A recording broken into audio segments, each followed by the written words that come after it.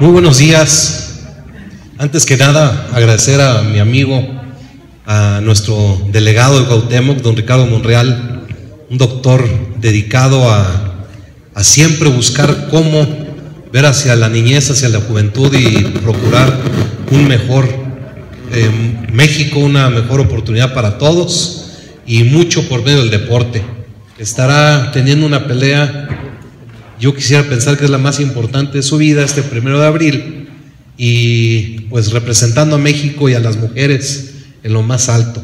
Y pues Juan Manuel, el referente del boxeo mexicano, es sin duda alguna el máximo ídolo que se ha tenido, un boxeador que muchos años tuvo que batallar, que tuvo que seguir persiguiendo su sueño hasta que eh, justicia llegó en sus puños y verdaderamente te reconozco, Juan Manuel, como un gran mexicano, un, gran atleta y estamos muy orgullosos de ti. Estaban hablando de la función del primero de abril. A mí me la había propuesto el jefe de gobierno para yo poder pelear en el Zócalo, pero dije al jefe de gobierno, ¿sabe qué? Se me hace muy rápido.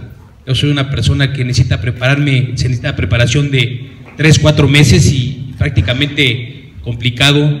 Se está hablando yo posiblemente de un regreso para mayo, junio, y pues todo el mundo, esa pelea que se habla mucho contra Miguel Ángel Coto, que estamos viendo ahí, si es que se llega a hacer, mucha gente me dice, es que ya estás viejito.